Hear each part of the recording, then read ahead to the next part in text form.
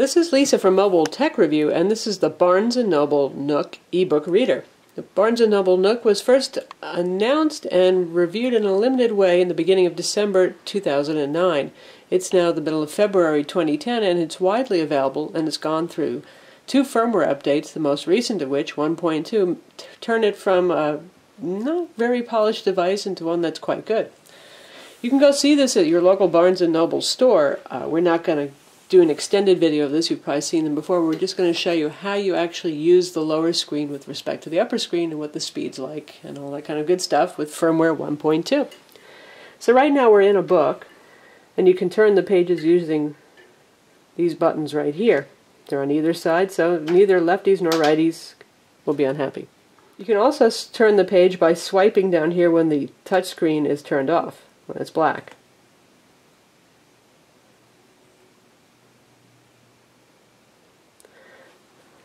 If you want to get back to the home menu, you just tap on the N here. It's actually a touch-aware button. So we'll start from scratch. This is what you see, main menu, basically nothing on the main display other than the little N Nook icon. And down here, on your touch screens, capacitive color touch screen, you see the different things you can do with the Nook. You have the daily right here, which is fresh content that Barnes & Noble pushes every day over the 3G connection, or you can use Wi-Fi if you want to as well. You get two pieces here every day. It's a humor piece and a this day in history kind of piece, both written by professional writers, and they're pretty interesting. If there are any new Nook updates coming, they'll also be listed on the screen here. If you want to move, you use these arrow keys here, which have been enlarged. It's much easier to use compared to the original firmware. And you want to select something, you tap the little red, the little round circle.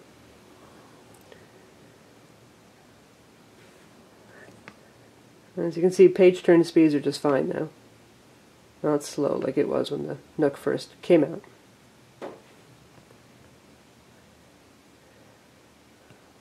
My library shows you your library books. You have your Barnes & Noble library. Anything that you purchased or downloaded from Barnes & Noble is listed here. You can have the CoverFlow version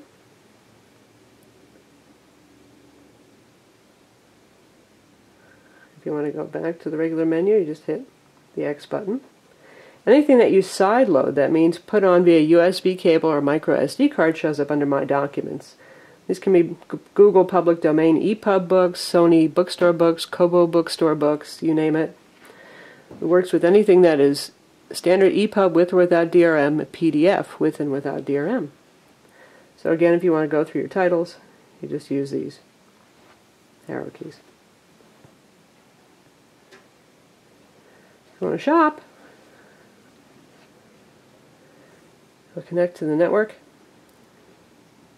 So here's the uh, the Barnes & Noble online bookstore here. You can choose between ebooks, magazines, newspapers, bestsellers, New York Times bestsellers, and so on.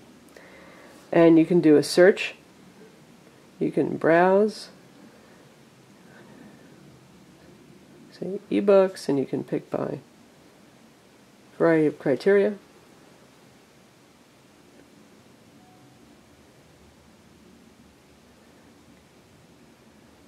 Uh, subjects, biography, memoir, cookbook, children's books, historical fiction, and so on. So it's, it's very easy to use the bookstore. You can use this back button to get back to where you were. Reading Now takes you to whatever book you happen to have been on, most recently. And the settings screen Shows you how much storage you have available. This does have 2 gigs of internal storage. Shows you how much you've got left on your micro SD card, and owner profile information, things like that, how much battery you have left. And from here you can do things like change your screensaver, and you can make your own screensavers and put them on. Change the sleep timer independently. This one can sleep at a different time than the bottom one does. And in fact, that is how it works. This one can go for up to 20 minutes. That's the maximum they have before it goes to sleep. And you see a screensaver, whereas this one goes to sleep, generally speaking, 30 seconds because the color display does use more power. And you don't need it as often. I'll do a quick comparison between this and the Sony Reader Daily Edition PRS 900. So here we have the Sony Reader Daily Edition, the PRS 900, next to the Nook. This is a touch screen. The entire e-ink display has a touchscreen layer on it. And as a result, it does lose some clarity. As you can see, this is just your standard Vizplex e-ink 6-inch display, same as used on the Kindle and on the Sony Reader Pocket Edition, the Sony Reader 505. So you do have better clarity here, though you use, lose the usability of the touchscreen here. As you can see, you can just swipe right on the screen with this one. And in case you haven't watched our Sony video, we'll show you the store experience via the touchscreen. Here's the home page. Anything you want, you can just tap right on here.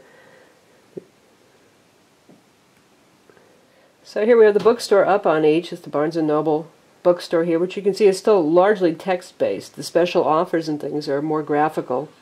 And as we show you, also if you go in store, you're going to get special offers while you're in the store. If you have Wi-Fi on, the Sony bookstore is is looks much more like a web page. It's really nice looking. So you can tap on any of the books that you're interested in here, hit the arrows to progress through the bestseller list. Or you can just tap on one of these things, say you're interested in newspapers. Just tap on that. And then you get a graphical listing of all the newspapers over here, and you can filter by subject as well. So as you can see, the touchscreen allows for a much more sophisticated interface, but as you can probably also see, even through the video camera lens, this does have a sharper screen. So we'll take a quick look at just the basic hardware of the Nook right here. You can see how relatively thin it is. It's not as thin as the Kindle 2. This is a half an inch. The Kindle 2 is about 0.3 inches. It's about the same thickness as the Sony Reader Daily Edition. Here we have the 3.5 millimeter stereo jack. There's also speaker here the bottom. Not exactly super loud, but hey. Micro USB port for syncing and charging. The charger and USB cable are included. A case is not included. And this is your power button. Tap it quickly to put it to sleep and turn on your screensaver. If you hold it for about five seconds, you can turn off the screen completely. Oddly, Barnes & Noble says that if you turn it off completely, it won't charge.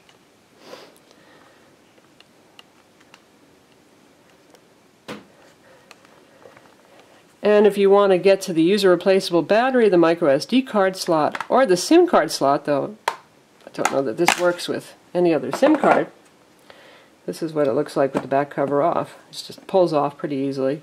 So here's your micro SD card slot. This is the replaceable lithium-ion battery.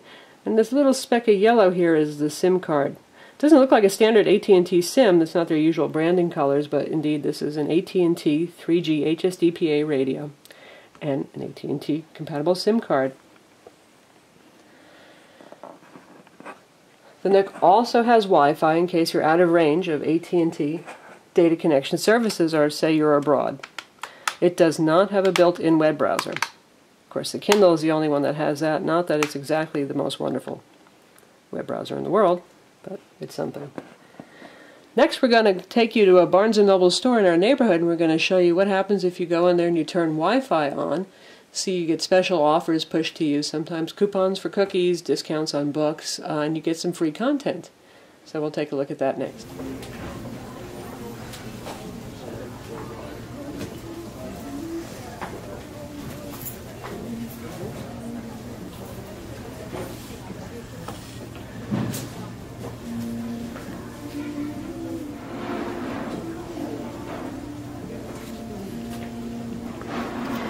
So these are things that are only available while you're in the store. You can read these short stories, essays, that kind of thing. Let's see what else.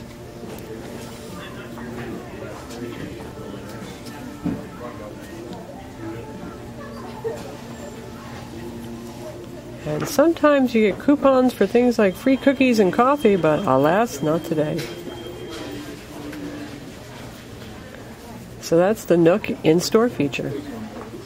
This is Lisa from Mobile Tech Review, and this is the Barnes & Noble Nook. Visit our website to read the full, very detailed review.